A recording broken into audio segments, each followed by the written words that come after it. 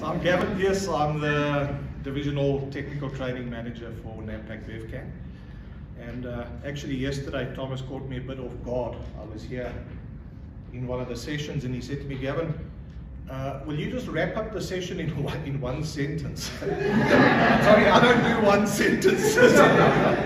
but I'm not going to keep you too long. I think first of all, the people that are in the middle here, which is mainly managers and uh, from what I can understand, L&D people, thank you very much for, for being here.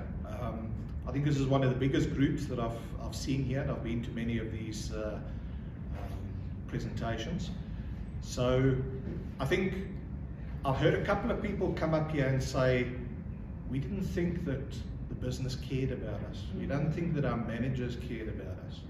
I hope you can change that now and you understand that these managers are here because they do care about their employees. So as much as Nampak Rigids is concerned, we'll get Rigids right, okay? Don't worry.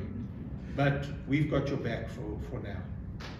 As far as the people that deliver this program, and that goes for Thomas and Estelle, I normally say they, they're my two favorite people because I can't work out which one is more passionate. They're both passionate people.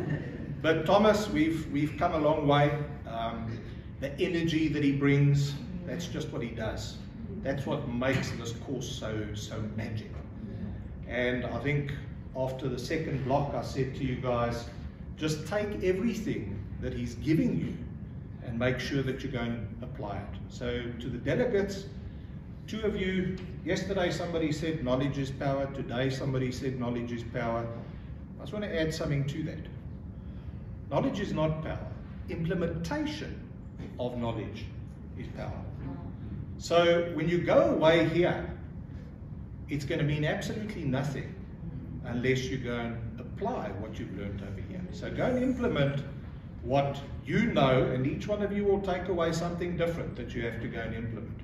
Take it and go and implement it. Because without that, the certificate that you will get means absolutely nothing. It's not about the certificate. So today is not the end. Today is the beginning of the journey ahead. And all the best for all of you.